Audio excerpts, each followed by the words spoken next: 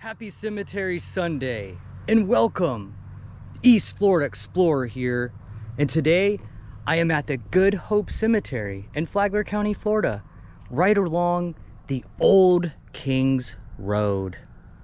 It's a fairly old cemetery in the county. One that actually still is used and active today. Join me. We'll take a little walk and explore it. And this cemetery has a little bit of history.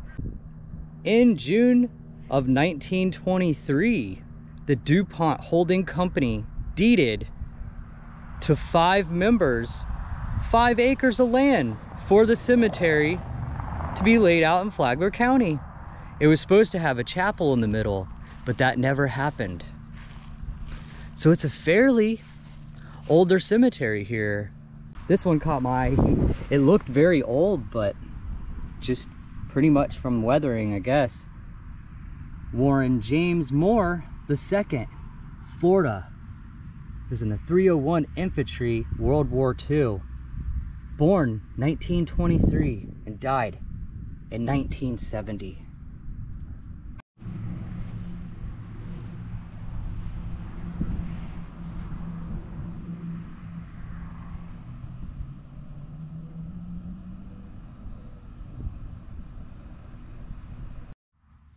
Coming across some more graves from the 40s. Looks like we have would be Honorable Norman E. Carter, 1878 to 1944. And this probably would be his wife, Helen Carter, 1904 to 1945. And for some strange, odd reason, I seem to be walking backwards through the cemetery. So I have to turn every time to look. But the cemetery faced the other way at one time. Here we have William H. Lewis, 1862 to 1940. And these graves back here, they caught my eye because they definitely look a little older. Got Mary Lewis, died in 1946. And for the Flagler County area, you know, it's not a real, real old county. There's a lot of history here, but it was part of St. Johns County at one time. These names look very familiar here. Should have showed Wickline. That's a familiar name here in uh, this area and Bunnell, Florida. George E. Wickline, August 20th, 1903, November 8th, 1987. He was a member of the Bunnell Lodge 200 F and A&M for 62 years. This area right here caught my eye right when I came into the cemetery. Probably because the older raised um, burial is different. And I see some older ones over here right under this oak tree. Gertrude Geiger Howe, 1914 to 1938. So that would be the oldest grave so far that I've seen, 1938. And this one doesn't say anything. And we have the whole Geiger, looks like family. Another one, April 10th, 1944, mother. Yeah, thought this would say something on it. that doesn't. Another huge family name in the area. Not sure if they're all related or not, but Ollie Chester Weeks, Florida, apprentice seaman, died November 23rd, 1931. Hard to see that one. Another one, part of the Weeks family, in memory of Alice Owenelli Weeks, September 18th, 1904, entered into rest January 1st, 1926 in Bulow, Florida. Age 21, 313 days. Huh. Oh, 21 years, 3 months, 13 days. So she was only 21 years old, it says, huh? Wow. And she died in Bulow, Florida. That's cool. Actually, Bulow is kind of like a ghost town now. It's not even a real real town. There's old um, plantation there and stuff. It's just down the road, not too far. The whole area of Bulow, though, once a striving community. Another area right here caught my eye. Another family name from the county. Jones. Yeah, Foolin Jones died in 1986 and Alice May 2010. They were married in 1946. See you in the morning. So I guess the er the further I get back towards the back of the cemetery, the older the graves do start becoming. Yeah. Thomas J. Teston Jr. March 7th, 1919 to September 16, 1927. A little time on earth he spent till God for him his angel sent. Wow, I just seen a grave right here that actually I was gonna go look for this grave, which I don't think the cemetery exists anymore. Um, maybe like five minutes down the road across the bridge in Flagler Beach, uh, there was a cemetery, but there's no longer one there. I think it's just houses in the area now, but the cemetery was called the Cochran Cemetery. And right here I found, it says W.M. Cochran, which the person that was buried in that cemetery, which it was his land, was William Cochran. Um, I'm not sure if this is the same person, but they do have the same last name. And I know for some reason, it seems like a lot of cemeteries in this county, when they started developing, they started moving bodies into the other cemeteries like this one or down the road there's the um, the Masonic Cemetery which is, is the African American cemetery. So in Bunnell they move bodies there they move bodies here. It's just that's so strange to me but there's a lot of uh, abandoned and lost cemeteries in this area all around Florida. I'm slowly finding them. Oh, check this out. Here's some familiar names here. I mean, Harry D. Bowie, 1888 to 1947. And I know in the town just west of here, Bunnell, the Bowie family did a lot there. And there's a street called Bowie Street. Look at this one. This is cool. This is made out of metal. Clara Bowie, mother. It's definitely an older looking grave. And speaking of some more family names, Durrance. And there's quite a few Durrance names here in this area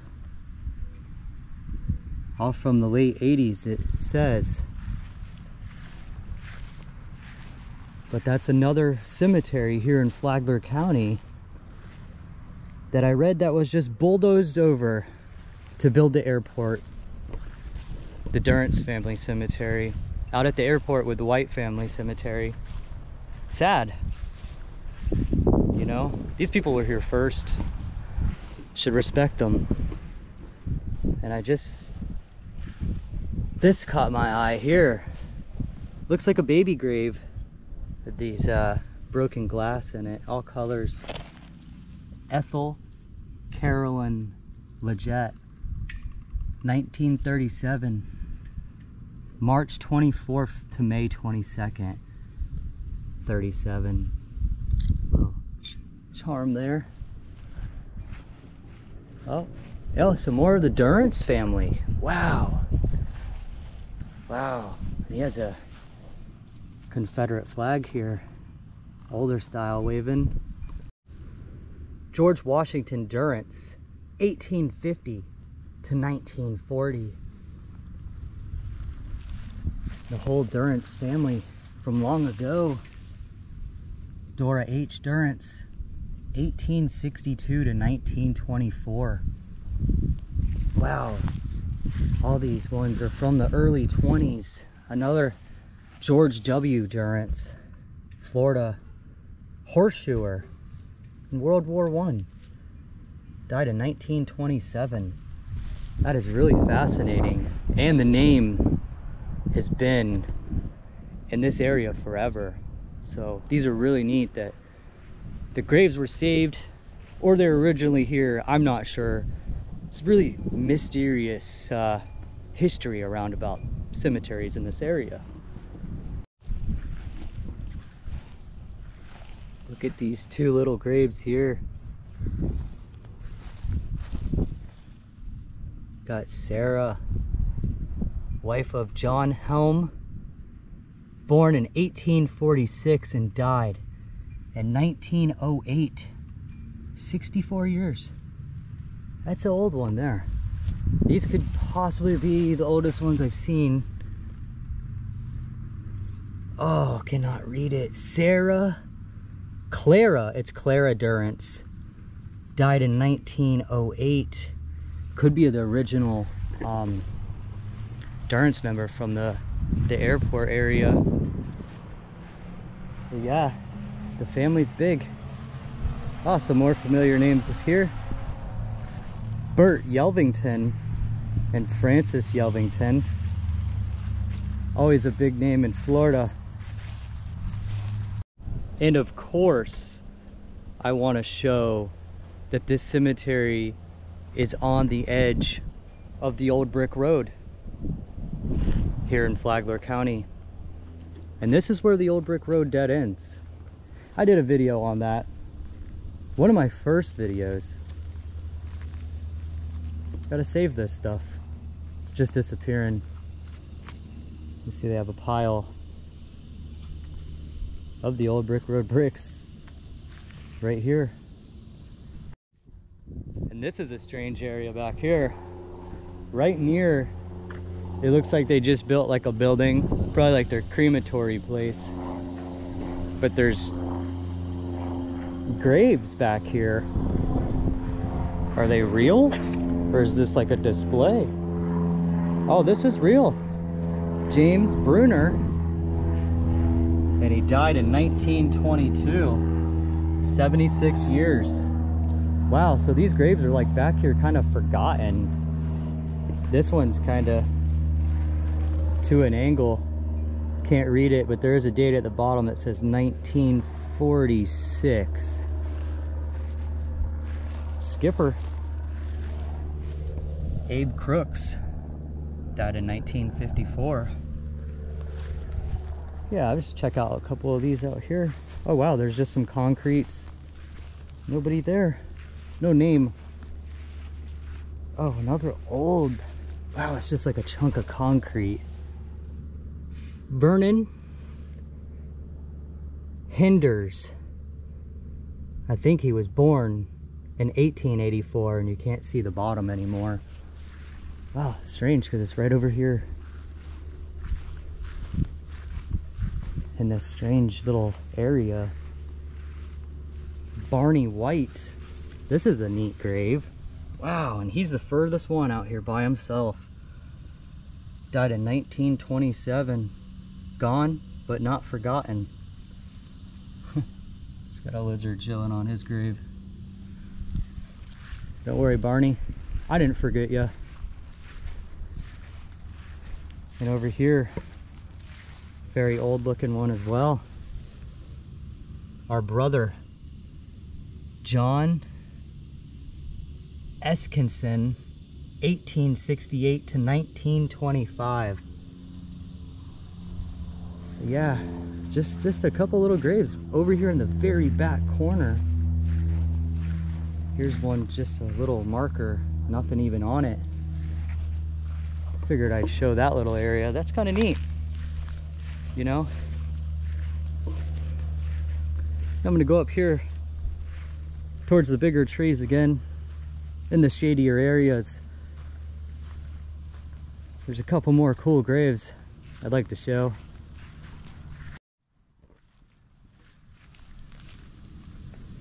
Here's a grave.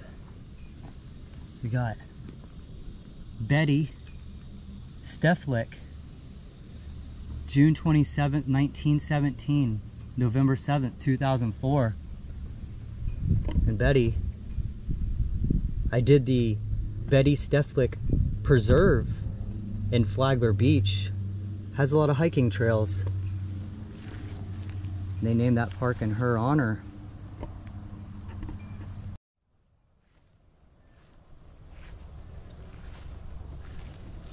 And there's one over here I gotta show.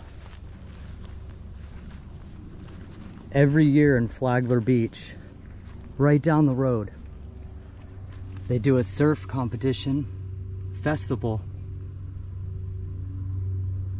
for this man, Tommy Tant, May 27th, 1974, November 19th, 1998. Our sunshine, Will's big brother. And every year in Flagler, it's, it's really nice. Everybody gets together, shows their respect. Good times. That's neat. See a couple people and a lot of old historic families. I'm really glad I visited this cemetery. I put it off for a while. This one over here just caught my eye. Looks like he was a huge Gators fan. He's got the Gators helmet. Foreman. Doug and Nancy. Oh, they were Gator fans for sure. Love you forever.